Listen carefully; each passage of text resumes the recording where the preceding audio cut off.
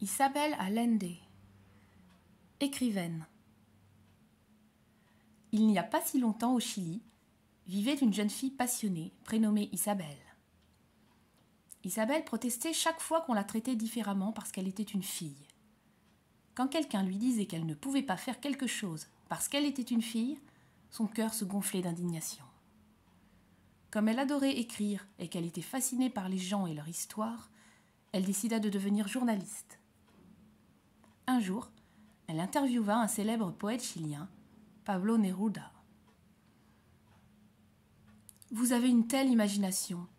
Vous devriez écrire des romans plutôt que des articles de journaux, lui conseilla-t-il.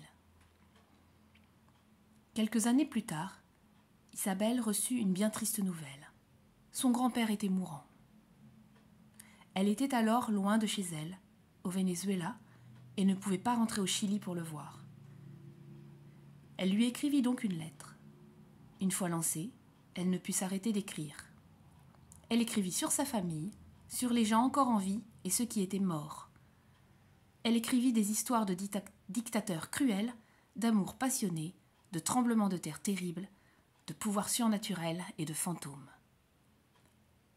La lettre était si longue qu'elle en fit un roman. La Maison aux Esprits connut un immense succès, faisant d'Isabelle une des plus célèbres romancières de notre temps. Elle publia une vingtaine d'autres livres et remporta plus de 100 de 50 prix littéraires. Née le 2 août 1942 au Chili.